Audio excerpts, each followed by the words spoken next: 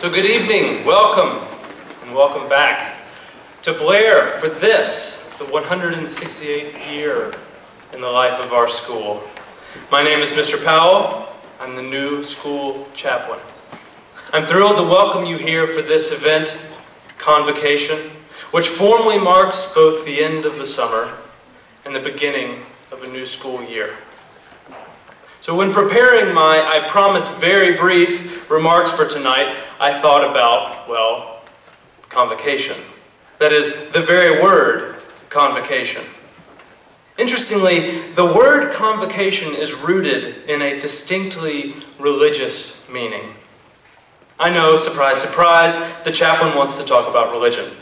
But hear me out. Think for a second about convocation. We, of course, recognize the root word, vocation, meaning what someone does, as in someone's job or career. Yet the word vocation once denoted a specifically religious career. Way back in the Middle Ages, actually, if someone were to join a monastery, they'd say they found their vocation. This is because the word vocation stems from the Latin vocare, which means to call. So when someone found their vocation hundreds, maybe thousands of years ago, they believed they found their calling, the thing God had called them to do, the thing they were created to do, in fact. Yet we're here for convocation, and the con is important to note. Con means together. It means with. This, as I understand it, means we're not only gathered here tonight to inaugurate the beginning of a new school year, a year when we'll seek out our calling and the things or thing that calls most to us. But we'll do this all together in the context of a community. And ours is a diverse community. Not only do we have students from nearly half the American states, but we have in our midst students from around the globe. You perhaps saw these students carrying flags from their home country while processing here tonight. These include Afghanistan, Germany, Jamaica, and Spain, Saudi Arabia and Australia, Bermuda and Hong Kong, Benin and Thailand, Nigeria and Dubai, the Cayman Islands and Sweden, Turkey and Kazakhstan, Japan and China, the United Kingdom Vietnam, Singapore and Switzerland, Austria and South Korea. So welcome to Convocation, this time where with, many, with our many voices we commence together on this journey of acquiring new knowledge and understanding in a new school year. So I'll now invite up Mr. Fortunato, who will introduce the members of the Senior Class Council speaking for you tonight.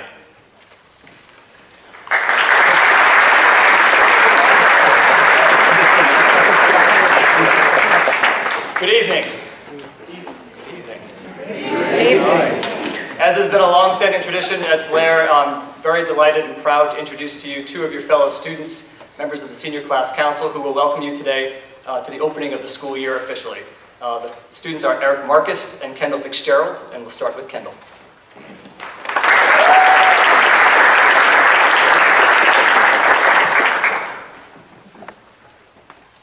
When I've been asked to define Blair, I've never known how to do it justice. The only way I can think to define Blair is through the people. Blair is incredibly friendly. Everyone knows this. Everyone waves, everyone smiles, everyone holds doors. At Blair, everyone is molded into a perfectly friendly and caring person. But to every person, there is far more. Imagine you're in a museum, and there's a marble statue, a whitewash, charming marble shell. However, this statue doesn't show the color of this person's eyes, or their emotions. The people of Blair have so much more to give than their marble smiles. They have their voice to share. What I love about Blair is hearing those voices. What I love about Blair is breaking past talking about the weather, the dining hall food, or schedules. Because no one can show their personality when they're talking about what class they have C block. Over my three years, I've noticed that my fondest and most genuine connections are with those whom I teetered on friendship with, who I smiled at, but then actually got to know. Whether it was a senior on my tennis team, one of my old teachers, or a prefect down the, fall, down the hall, I found that we only really bonded when we became really personal.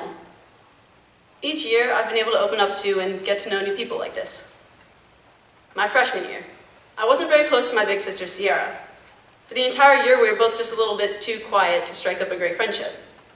It wasn't until the spring of that year that I ended up in her room with a really random mix of girls. Someone found a ukulele, and soon talking turned into singing, and singing into laughter. Within an hour, we had all become really good friends, and Sierra waited for me the next day for practice, and we laughed across the quad together as real sisters. My sophomore year, there was a really funny, nice group of guys living on the third floor of East. And my friends and I knew them, but we weren't really close to them.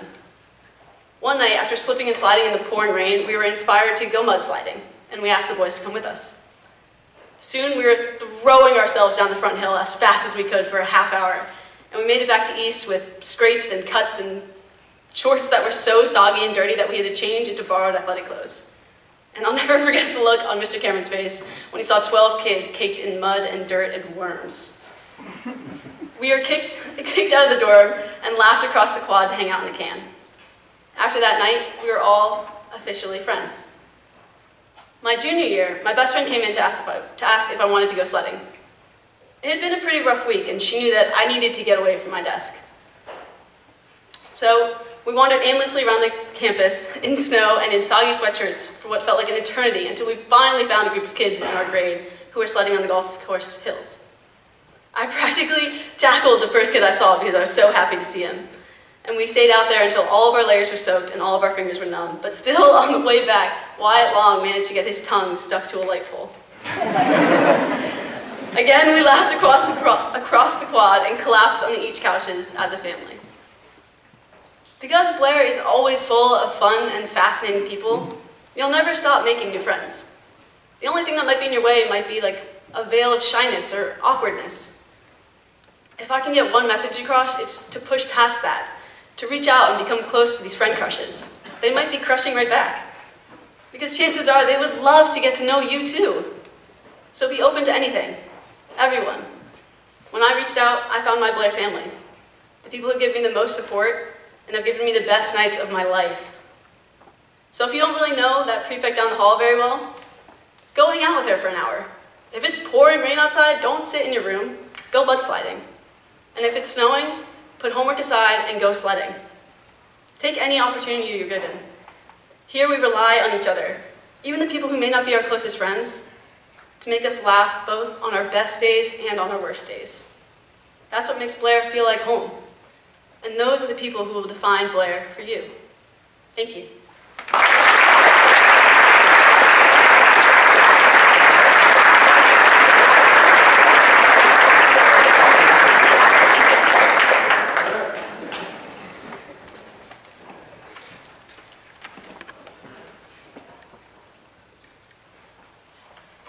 Okay.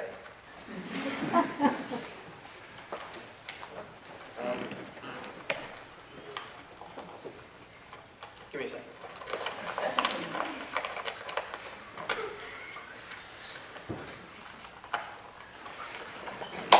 Okay. Hello, everybody, welcome to the 2015-2016 school year. Now that we've all moved in, said our hellos, and are starting classes soon, we're beginning to get back into the groove.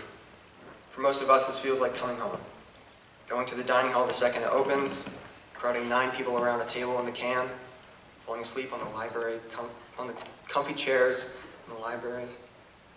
The only people to whom these things aren't familiar are the new people of Blair. They wander aimlessly around the Blair campus trying to get a lay of land, figure out how to live alone, and worrying about their acne. Uh, and I'm just talking about the new faculty. Uh, uh,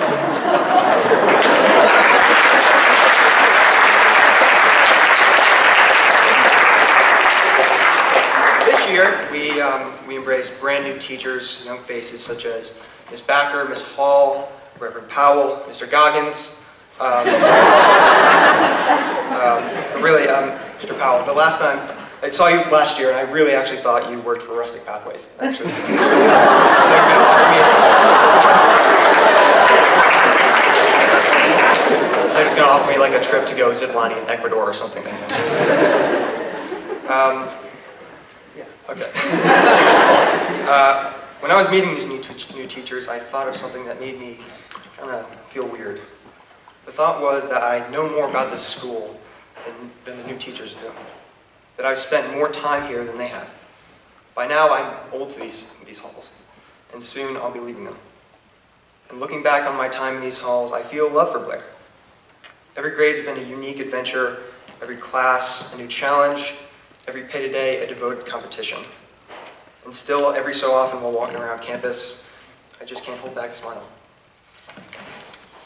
Though throughout my time here, I've sometimes heard people complain about the minor inconveniences about Blair.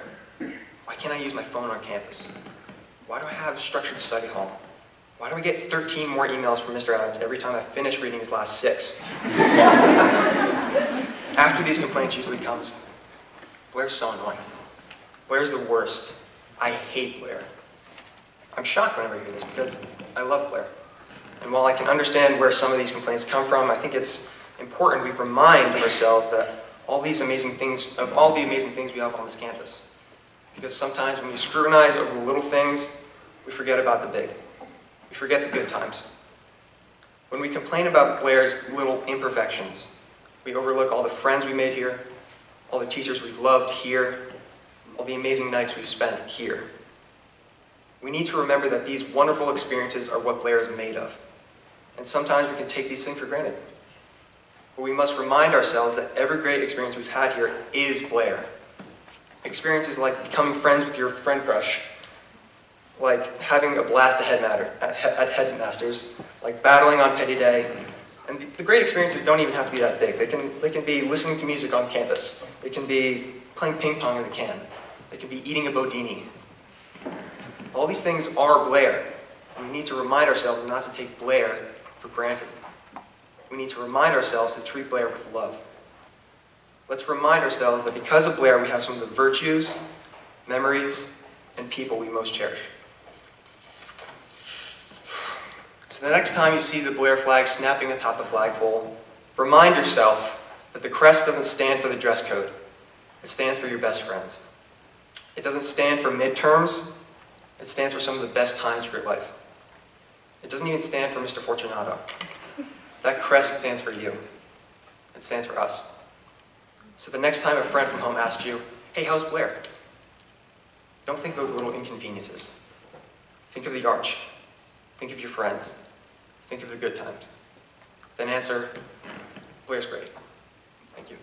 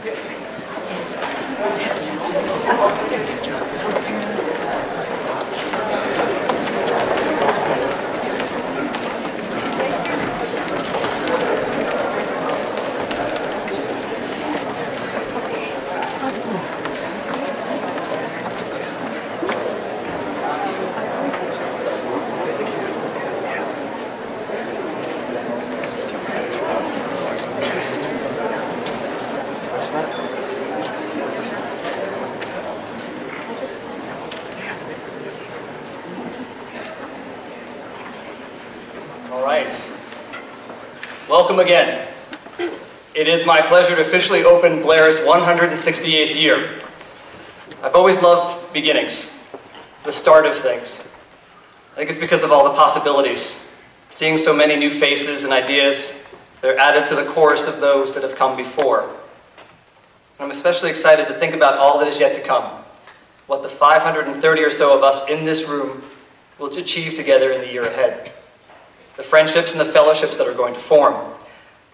I grew up loving stories, often epic stories in particular, which from their first moments immediately captured my heart and my imagination and made me believe that there was truly something great ahead on the horizon. And being of the generation that I was born into, from the time I was five, in my head, I have to be honest, every important beginning in my life has felt like it should be accompanied by the following. Raz?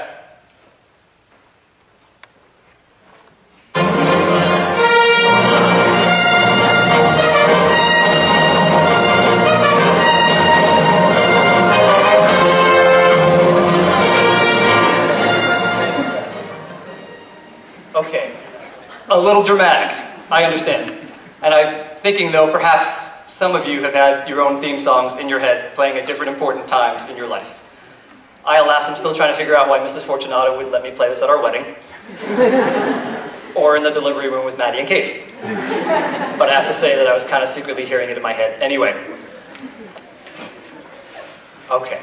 So at this time of beginning, when we both reaffirm who we are and yet have the opportunity to reinvent ourselves as individuals and as a school, I'd like to take a moment to draw from some of the life lessons, the truths that I've learned from a couple of the stories I grew up with. The ones that made me dream and think and laugh and start to figure out what's important even from an early age. They're lessons I've discovered as an adult now that the messages from those stories make more sense, to be the foundations of a good life. They're lessons that I can think that I think can set the stage for a great experience at Blair, and that can guide us well on the adventure that lies ahead in year 168. I share with you right from the start a most important lesson that I've learned thus far. The real prize that lies ahead for you, for all of us, at Blair and beyond, is in fact a good life. And a good life depends more than anything on the people we let enter into our worlds. It's not just about where you go to college, or your grades, or how many hash marks you have in your win-loss column, how many awards you accumulate or don't.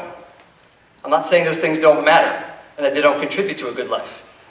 But your lives will be and must be bigger than just where you were admitted to school or the recognitions you receive. So as your head of school and as a faculty, we start this year wanting to affirm to you that we are above all committed to preparing you, guiding, listening, walking alongside you on the path to a good life in the many forms that it's going to take for each one of you as individuals. That means being with you and behind you through all the successes and the stumbles, the challenges, anxieties, the late night conversations in the common room, the seemingly impossible calculus tests, the I got admitted or I got waitlisted, the roommate arguments and tough losses, the great performances, the grill and chills, the really long bus rides to Mercersburg, the seemingly how could I have been so stupid moments, the I nailed the public speaking competition, the we just beat Peddie moment, which will come in how many days, Mr. Evans? 61. 61.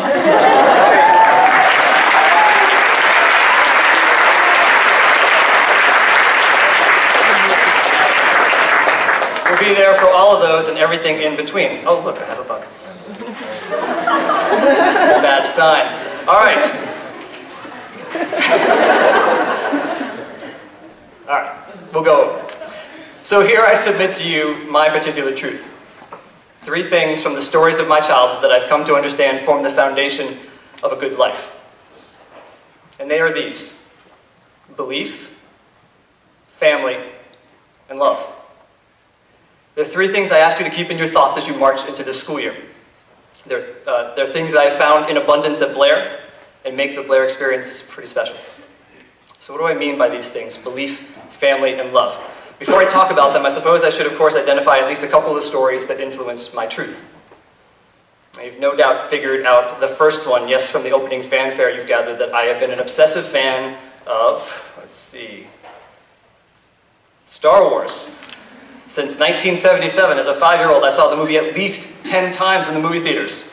Back in a mythical time before TV, excuse me, before cable TV, DVDs, not before TV.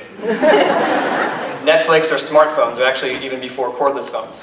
So I dreamed as a five-year-old of being Luke Skywalker or Han Solo, and wanted to believe there was an all-powerful force bigger than any one person that compelled people to do good or bad. I share the following visual testimony to make clear the level of my obsession, both as a child and as an adult. Those are Maddie and Katie in their earlier days. There are about 101 days, 4 hours, and about 30 minutes before the opening night of the next Star Wars movie, which I'm thinking I might just go check out. Now, the other stories that I'm going to reference existed on a less galactic scale, but nonetheless felt pretty epic to me as a kid. They're about a band of simple animals led by an unassuming, amiable little leader named Winnie the Pooh. And of course, a boy named Christopher, a name with which I, I identified, who banded together and they stuck by each other like family through the trials and tribulations of being carried away by balloons, getting stuck in honeypots, and tracking a mysterious heffalump creature. And by the way, it was a fanboy's delight to find out that an artist brought these two iconic stories from my childhood together in his paintings. so seeing this was like, it was like witnessing the greatest crossover since, oh God, how could I think about this in Blair terms? Um, it would be like having Doc Miller and Mr. Brandwood teaching the same class together. I'm not sure what that class would be. I don't know if it would be Shakespeare in the economy or the poetry of global markets or something like that. Well, that joke killed with my kids earlier. All right, let's, let, me, let me start by talking about belief. In some ways, there's nothing more powerful than belief. Believing in oneself, in something bigger than oneself, believing in others, and the ability to create new things, to change others' lives, to do things we didn't think was possible. As a kid, I remember the excitement that came from watching Luke Skywalker fly through a trench to destroy the Death Star, hopelessly outmatched, with a Darth Vader about to blast him into pieces and a voice telling him in his head to believe and trust in his ability to do the impossible. That was magical stuff for a five-year-old. Or reading with fascination and joy about Winnie the Pooh and his band of followers having faith that they could trap that heffalump, a creature they knew nothing about, even didn't know if it existed or not. But they believed together that their friends could come together and they could do anything. I'm 43 years old now, and my thinking more sophisticated and informed, or at least I like to think, than my five-year-old self. But one thing I refuse to let change is being a believer. A believer that if you surround yourself with the right people and give yourself fully to what you want to achieve, there is little you cannot do. There is that feeling we all get when we truly believe in something, whether you're five or whether you're 55. But frankly, it gets harder as you get older sometimes to really recreate or feel that feeling. It's because it's hard to be a believer these days. So often the messages and the modeling we're bombarded with all around us from our leaders, our media, it's cynical. And it focuses on cutting people down, critiquing to the point of dissection, as opposed to creating things, inventing things, or building other people up. In fact, so often, so often there is rhetoric, information, or misinformation from people or organizations that make it such that we don't even know what to believe. And when that happens, it's simply easy to not believe in anything at all. As we start this year, we're delving more deeply, as all of you know, into the next presidential election cycle. And we're already mired in and a bit depressed by self-centered, mean-spirited double talk that masquerades as leadership in action. But let me tell you why I am still a believer now. It's simple. Because of all of you. It's because of us. You've heard this already. Blair is far from perfect. None of us are or will be perfect. But getting to know you, and that goes for students, faculty, staff, parents, others in this community, seeing who you are and what you're capable of, of the friendships and the kindness that you show, your resilience and humor, your willingness to help others. It makes me believe with the same kind of overflowing kinetic energy with which I believed in the Force when I was five. We have something pretty special here. And so I both affirm the gift and issue the collective challenge for us to believe and to act together on our beliefs. I will never presume to tell you exactly what your beliefs should be or what things you should stand for. With one another's help, you'll figure those things out. But I will ask you to do your best to have faith in each other. In a sometimes jaded world, we need believers who are willing to try, who have faith that there is more in life than just what's in front of them in the moment, who look to challenges and don't walk away, who are builders, creators, and innovators. Honestly, that's what's going to get you ahead in life. That's what will add to your life. So, what does this all mean practically? It means with the support of the people around you who believe in you and will take care of you, take leaps of faith, take the smart risks to learn and grow and get better at stuff. The belief that people have in you and their commitment to you here to stand by you is power. It gives you power to take on things that are challenging. So if you've never run cross country or road crew but want to try them, do it. If you want to build a prototype for an object in the makerspace and never even played with Legos as a kid, just do it. Don't shy away. If you've never painted at all in your life and want to try handed art, go see Mrs. Sykes. If there are people who you don't know and want to get to, get to know but can't figure out how to do it, go talk to Mrs. Conforti or your housemaster or your advisor. If you want to create a service trip, go grab Mr. Beck. If you want to take Greek, go see Mr. Newell. If you want, go to the people here, ask for their help, advice, and partnership, and then just go ahead and do it. As a faculty, it's our obligation to give you help to help to dream and believe and create. And shockingly, what you do will not be perfect. Dare I say you will make your share of mistakes. So go ahead and make the best mistakes you possibly can. Now that's not an open invitation to be foolish or reckless or ignore the rules or common sense. But it is a charge to you that we believe in you so much that we know you can make mistakes, overcome them, and succeed. And you will not do it alone. Which brings me to family. Some say it's a cliche to talk about a school community as a family. I do not. I do not believe that at all. More than any place I've worked, I've seen at Blair a commitment to one another, to friendship and family that makes a difference, that means something. Again, we're not perfect, but I can proudly say that when people in this community have been down or in need, we so often rally around them. When people are injured, when people band together to help raise money for those in need. When we raised $30,000 for Relay for Life last year, doubling what Peddie had raised the year before. Yeah, you can clap for that.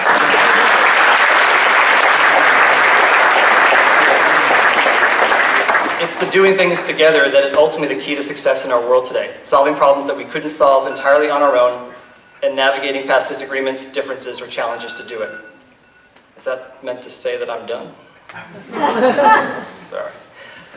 That's our world now. The world that you're going to enter more fulsomely in college and beyond. The world we need to prepare you for. So it's critical for you to be there for each other, to foster trust and act like a team. It's ultimately pretty satisfying as well, and the, all, and the way we can all make a difference, both inside and out of our Blair bubble. Part of being at Blair means embracing an obligation, yes, an obligation to one another.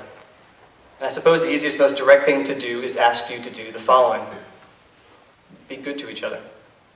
Faculty, staff, students, let us be good to each other see the best and bring out the best in one another. Though there may be moments of annoyance or when we fall down on the job, it is a gift to be part of more than just the family that raised you. You know what my absolute favorite moment of any Star Wars movie was, and you knew this was coming? In that scene I described where the Death Star is about to be destroyed and Luke Skywalker is in the trench, his friend Han Solo, that we all thought had selfishly gone off and done something to take care of himself. He flies in, rescues the situation, and helps his friend save the day. It was such a cool and powerful message for me as a kid, one that you see reinforced maybe even up in that picture there.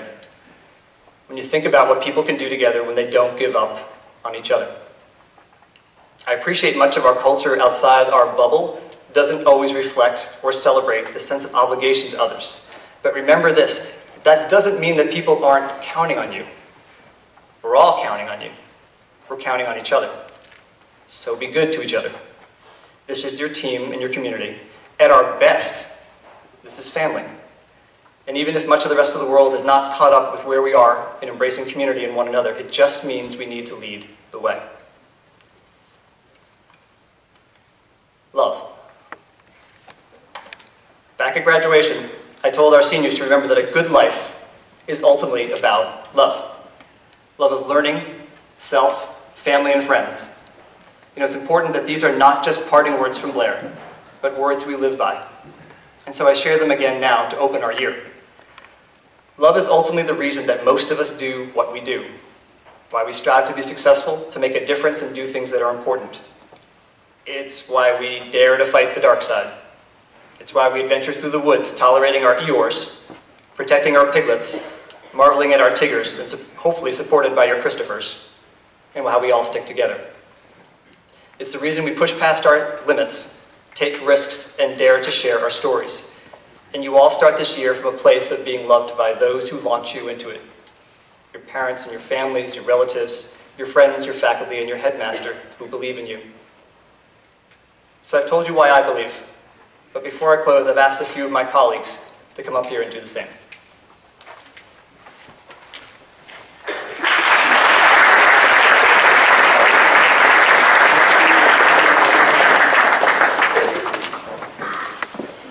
Me, what's most beautiful about this Blair community is the constant opportunity for self-reflection and personal growth. There are so many loving and positive people here that it's nearly impossible to go through a day without feeling supported and nurtured, sometimes even too much. And I say this from the faculty perspective as well. Just a few days ago, I was extremely stressed out about moving into my new apartment during preseason. Uh, I had been between apartments for nearly a month, and when we finally got the go ahead to move in, there was fresh paint on the staircase in my apartment. So I couldn't really do any of the things that I was planning on doing that day, and I was so excited to finally move in. It sounds silly because it was, but this was a bit of a breaking point for me. I hopped right on the train to Negative Town.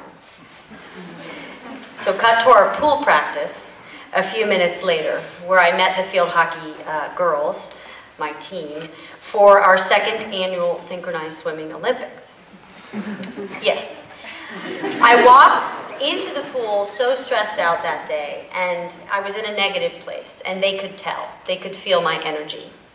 But 30 minutes later, after sharing a bunch of laughs with them and watching some of the most ridiculous synchronized swimming ever, I was a whole new person, and I thank them for that.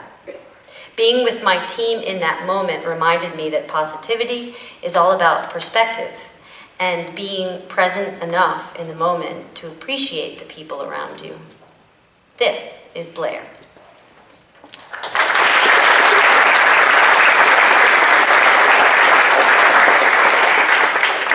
Hello, all. For those of you who don't know me, my name is Miss D. Hi, Leah. and for those of you who don't know me well, I'm probably best known for being far too cheerful and far too positive far too much of the time. On a consistent basis, people ask me how I stay so optimistic all the time. But the truth is, it's not so hard to stay positive while being in a place as special as Blair. I would argue that the things that truly make this place special are the experiences that are more everyday occurrences than true hallmark moments. These are the moments when Shane Brackup finds you in the dining hall, asks you how your day is, and genuinely wants to know the answer. Or when you overhear John Patton's students on the Lindsay Porch talking about the class topic of that day, still, hours later. Or when you see Cy Lippold get crazy excited over an amazing math pro um, problem. Or even when you witness Felix's infamous promposal. You'll hear about it if you haven't already. but ironically, the one hallmark moment that may be the most optimistic about Blair is actually a rather upsetting one. As many of you remember, last year during a basketball game, Bree Kavanaugh sustained a terrifying concussion which left her out of school for several weeks. It was perhaps the scariest moment of my life, and I know several people echo that same sentiment. However, what came of this awful incident ended up being beautiful. From the moment Bree fell, through the moment she stepped back on campus, the entire Blair community came together to support her. Close friends and far acquaintances sent her texts and flowers. People who barely knew her would constantly ask how she was. At school meeting, Q would update us on her status and everyone would cheer like crazy, and it truly felt as though everybody knew someone was missing. In my whole life, I've never seen a whole community collectively care about so much about one of their own. In that stretch of time, I truly felt the shift from community to family. It was something really special, and I finally understood that when push comes to shove, Blair truly is a family. And how can you not be positive about that?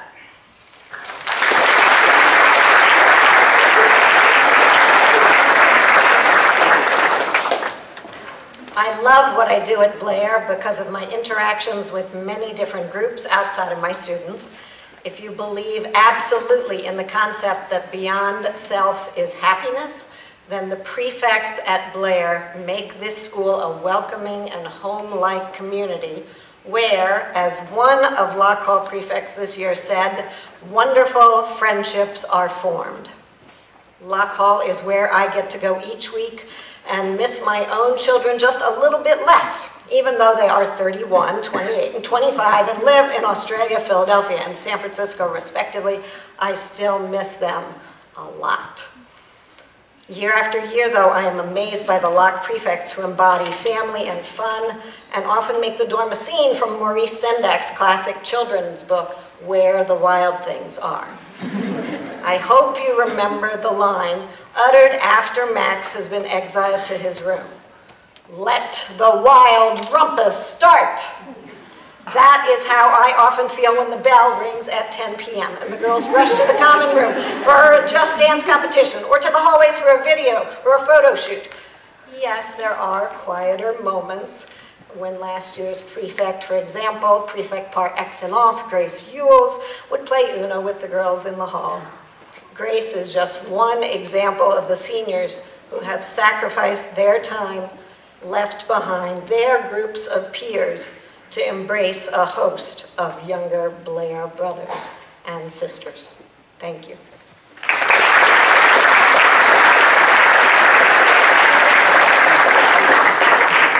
Sorry. What's up, yo? Sorry. Having a bad hair day, it's not good. Uh, a little more than a year ago, I was living the California dream. I had everything I could possibly want. I was playing a sport for a living, I fell in love, adopted the most adorable puppy, and lived in one of the most beautiful cities in the country. At the time, I was unaware that I was about to become the oldest freshman boy to grace the halls of Blair Academy. I arrived at 3 a.m. after driving across the country on a Saturday morning and awoke to the alarm of my mother calling at 7 a.m. to inform me that she had arrived. Like many of the boys a few days ago, Mommy orchestrated the move-in. She stocked my fridge with all my favorite goodies, took me shopping for preppy clothes,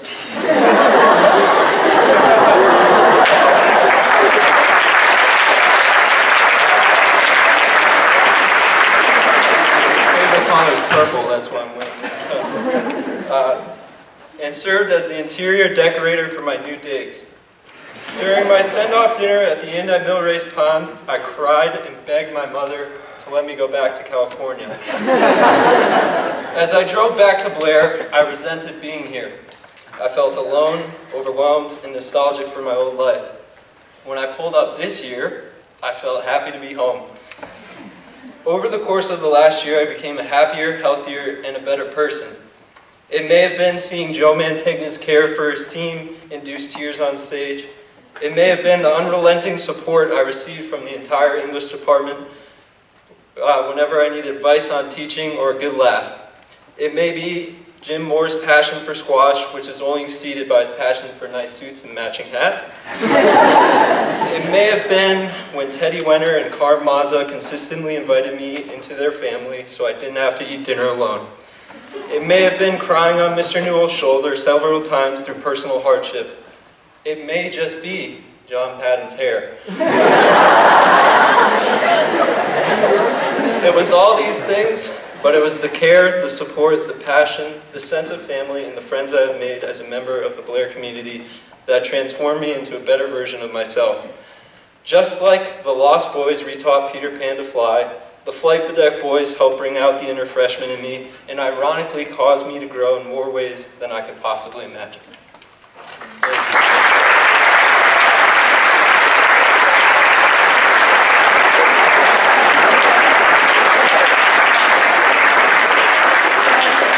feel the love. Do we not feel the love? Yeah. Do we feel the family? Yeah. That's what Mr. Fortunato's talking about, the love in the family. But do you uncomfortable talking about love, 14-year-olds? okay, love. The emotion of love we're talking about is like loving your mother, loving when your grandmother brushes your hair. hand in hand with your boyfriend and girlfriend, you get back and you can't concentrate on writing that essay. That's the emotion of love. When Mr. Sykes walks to his cookie jar and eats 17 cookies.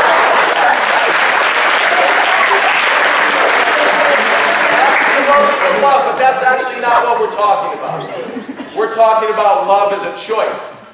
Okay? Every day we can all make the choice to love. Obviously, you're going to love your mother. You're going to love chocolate chip cookies. You might fall in love for 10 days with, with a fellow Blair student. Every day we all have the choice. The choice to love. The choice to be decent. The choice to be compassionate. The choice to be empathetic. So don't get it twisted. Okay? The emotion of love is different than the choice of love. I hope you guys all make great choices about that all year. Thank you.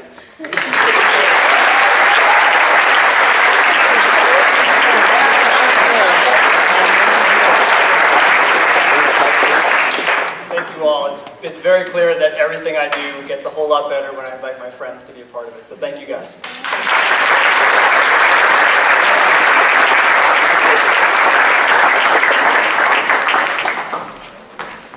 So my friends, before we go and embark on a year that I think is going to be awesome and fun and exciting, and as with all things in life, is going to pose its own challenges, I remind you that we're here to help you discover what you love in the world and share your world with those that you love.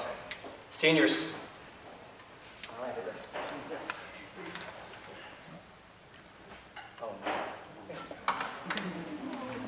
Seniors in nine short months, I'll remind you of the following. But for all of us right now, for this year, I want to end with a piece of advice that I learned from a little bear talking to his friends in the woods. Whenever there are moments that we're not together, there is something you must always remember. You are braver than you believe, stronger than you seem, and smarter than you think. But the most important thing is even when we're apart, we'll always be with you. Let's have a great year. Thank you.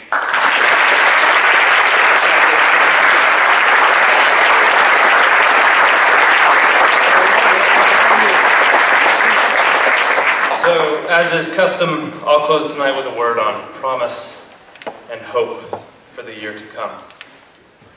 As we leave convocation, thankful for the friendships reignited after a long summer, as well as for the new relationships kindled just in the past few days. We ask for the, ver- the very best in the days ahead, for humor in our strivings and lightness when struggles find us. We leave here with the firm hope that in 2015 and 2016, we'll each work hard, do our best, and act in such a way that our finest selves might find their footing to stand in the days, weeks, and months to come. Seniors first.